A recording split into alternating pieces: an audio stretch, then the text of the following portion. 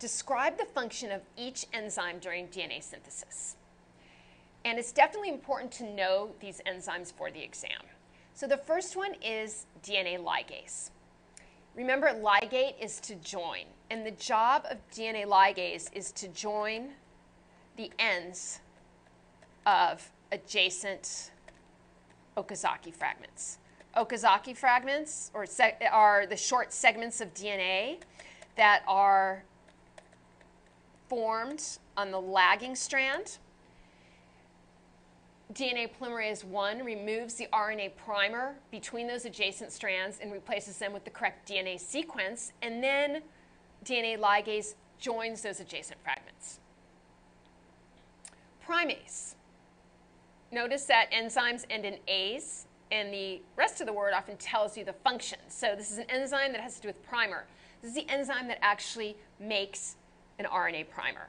So it synthesizes the RNA primer used by DNA polymerase. So recall that DNA polymerase can only add nucleotides to a pre-existing strand.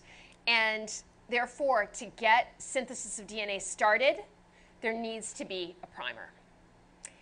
Helicase. Helicase has the job of unwinding the DNA double helix.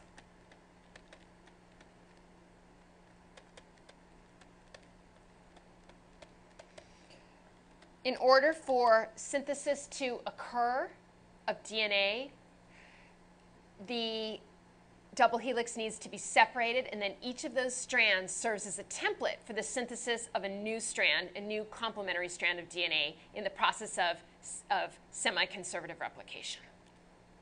DNA polymerase, this is actually a group of enzymes. There are multiple DNA polymerases, such as DNA polymerase 1 and DNA polymerase 3 that we discussed. The job of DNA polymerase is to add nucleotides to either a primer or the or you know starting out as the RNA primer and then to the growing chain of, of DNA. Okay, so add nucleotides to form a new strand of DNA.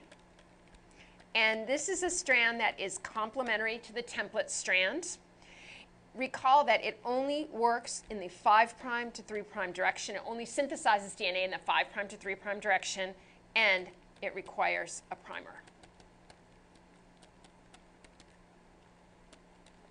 Single-strand binding proteins bind to the separated DNA, separated DNA strand, meaning it's no longer a double helix in that region. It's been pulled apart to stabilize them.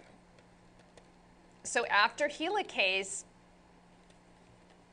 separates those strands of DNA, single-stranded binding proteins hold them apart, keep them separate, keep them stable.